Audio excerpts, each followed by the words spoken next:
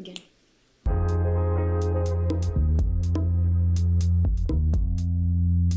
Salut! Potrivit ultimelor informații ANM, mai multe locații din oraș se află sub avertizare de cod galben de petreceri care determină vizibilitate scăzută. Haideți să vedem prognoza pe săptămâna aceasta.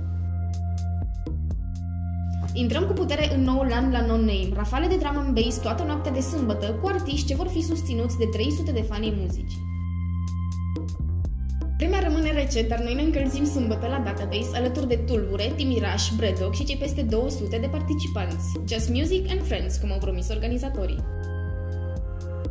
Vineri, tot pe ritmuri de drum and bass, ne punem în mișcare la Escape Venue. Evenimentul aduce șase artiști care promit să mențină tălpile încinse celor peste 400 de participanți declarați până acum.